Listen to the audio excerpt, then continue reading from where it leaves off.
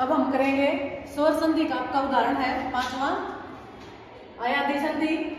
जब ए, आई, ओ, औ के बाद कोई भिन्न स्वर आता है तो ये क्रमशः बदल जाते हैं। कौन बदल जाते हैं? ए, आई, ओ, औ। बदल जाते हैं किसमें?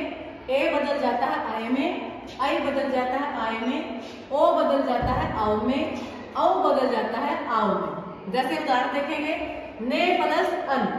यहाँ पर स्वर आया है ए और इधर आया है ए।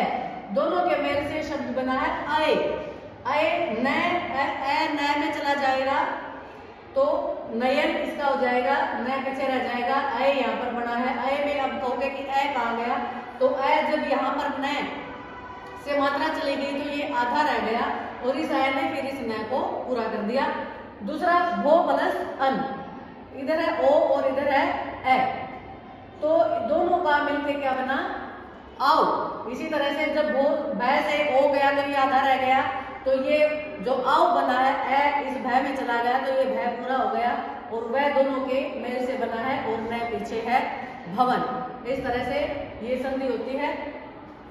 इसमें ए आई ओ औ के बाद जो भी भिन्न स्वर आता भिन्न स्वर मतलब कि इनसे अलग। अगर यही आ गया तो भिन्न संधि हो जाएगी तो इस प्रकार से ये ऐसे बढ़ेगा। इसका स्क्रीन शॉट ले। लीजिए